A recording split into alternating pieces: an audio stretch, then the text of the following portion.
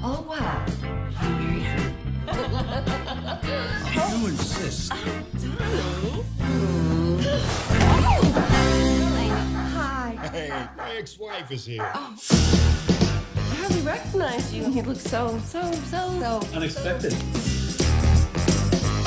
I truly loathe this place. Sweetheart, Dad. you look breathtaking.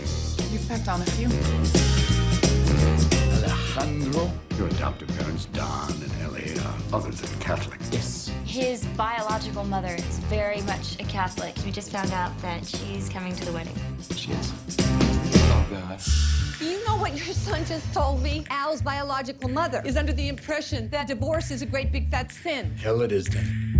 She gave up her only son so that I could have a chance at a better life. And now she left Colombia only to find out that I've been lying about being raised by heathens for the past 15 years. No offense. None taken.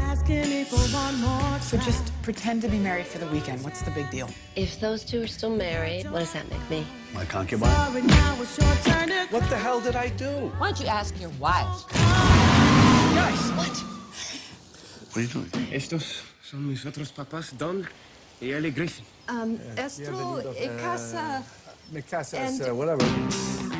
Qué casa tan elegante. Oh, you see, it's not. Re- oh, oh my goodness, I have such wonderful taste. Welcome to Weepawan Country Club. I will be your captain this evening. I'll have the filet mignon. Don't think so.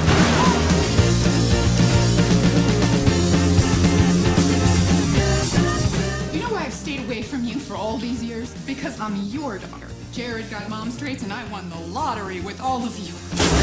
You were in love with Don Griffin from the first time I introduced you. Well, then why don't you just run me over with your car or something? You were my best friend.